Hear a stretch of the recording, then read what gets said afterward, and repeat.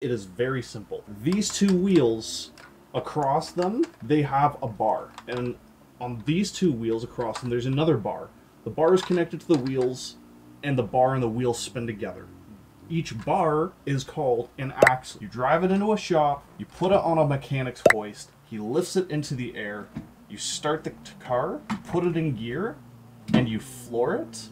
A front wheel drive car only the front wheels are going to spin, both of them on both sides. On a rear wheel drive car, if you did the same thing, only the rear wheels would spin. Very, very simple, okay? In contrast, an all wheel drive machine, like this Subaru is, all four wheels would spin. In a rear wheel drive machine, if you're on the ground and you gas it, the rear wheels are going to spin, which means you're pushing the car from behind. In a front wheel drive car, if you put it in gear and gas it, you're pulling the car, and it's a lot more stable as a result. Like you can keep the wheel fairly centered, and it'll drive in a straight line.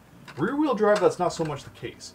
If you just put it in gear and floor it, you do what's called a burnout, and your back end goes all over the place, and you have to scramble with the wheel. So it's important to feed the throttle. Okay. So right off the bat, that's one reason you might want to consider rear wheel drive is because it will teach you throttle control, which is a priceless skill. Okay.